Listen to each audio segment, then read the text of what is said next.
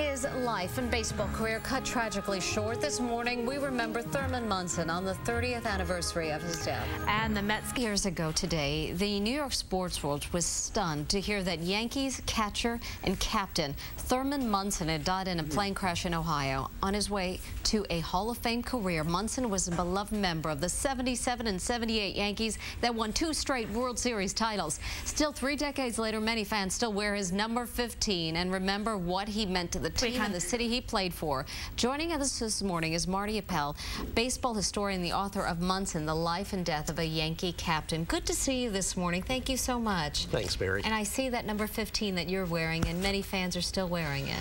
Yeah, uh, you go to a Yankee game today, and you'll find 20, 30, 40 people wearing Munson t-shirts, usually kind of middle-aged and maybe a little overweight. what did he mean to the team and baseball itself? He was the heart and soul of those great Yankee teams of the 70s that came to be known as kind of the Bronx Zoo years. And although he had a contentious relationship with the media, the fans saw around that. They loved the way the guy played the game. He was their captain as well as the official Yankee captain. You worked with him on his autobiography, and you were the publicity director in the 70s for the Yankees, so you knew him very, very well. What was he like off the field?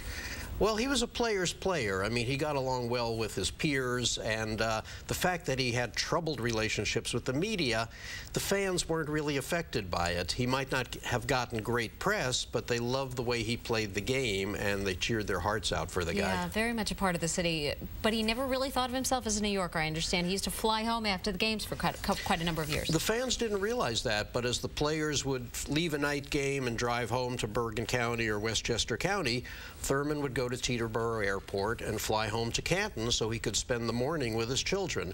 He'd had a very troubled childhood himself, and he was determined that his kids wouldn't have that. I'm wondering how you found out about the crash that day.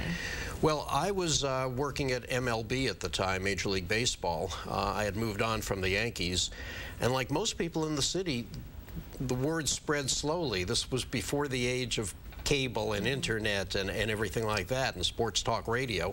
So it was about two hours later that we got phone calls and word started to spread. And there's really an interesting section in the book about how the New York media, station by station, reacted to it and covered it. How did you react to it? with grief and sadness, and it was so far down the list for me that, oh my, I did his autobiography with him. I'm even surprised looking back now that that didn't even occur to me very quickly. Mm -hmm. mm. Such a tragedy. last year we had a chance to speak with his wife, Diana, who's very, still very, very much a part of the Yankee family. She said she's still so surprised to see so many uh, of the Munson jerseys still in the crowd. Yeah. There's still so many fans here. Um, the fans love her. She was at Old Timers Day a couple of weeks ago, and they were able to express their love for Thurman through her. She's just uh, kept the name alive, and uh, every time the fans have a chance to interact with her, it's Thurman's back. You know, it's yeah. a great feeling. Why do you think his legacy is still so strong even today? He was the first captain of the Yankees since Lou Gehrig, and everybody kind of knows the legend of Lou Gehrig.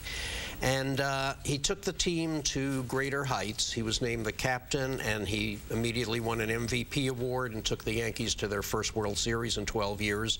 And he just played the game the way New York fans like to see it played, hard and fast and true with the dirtiest uniform on the field. Mm -hmm. Marty Appel, thanks so much for joining us. Thank you, Mary. The book is called Munson, The Life and Death of a Yankee Captain.